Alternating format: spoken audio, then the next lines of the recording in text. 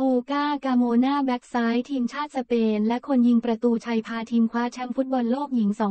2023 ได้รับข่าวร้ายหลังจบเกมว่าคุณพ่อของเธอได้เสียชีวิตลงแล้ว โดยการ์โมนาสวมบทฮีโร่หลังทำประตูชัยช่วยทัพ กระทิงดุสาว เฉือนเอาชนะอังกฤษ 1-0 ในรอบชิงชนะเลิศของฟุตบอลโลกหญิง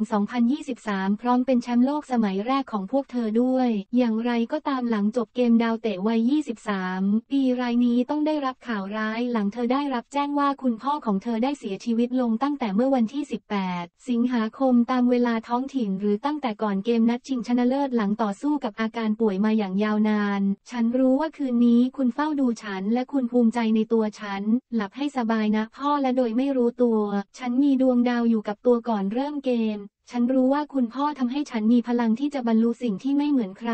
คาโมนาเขียนถึงคุณพ่อบนโซเชียลมีเดีย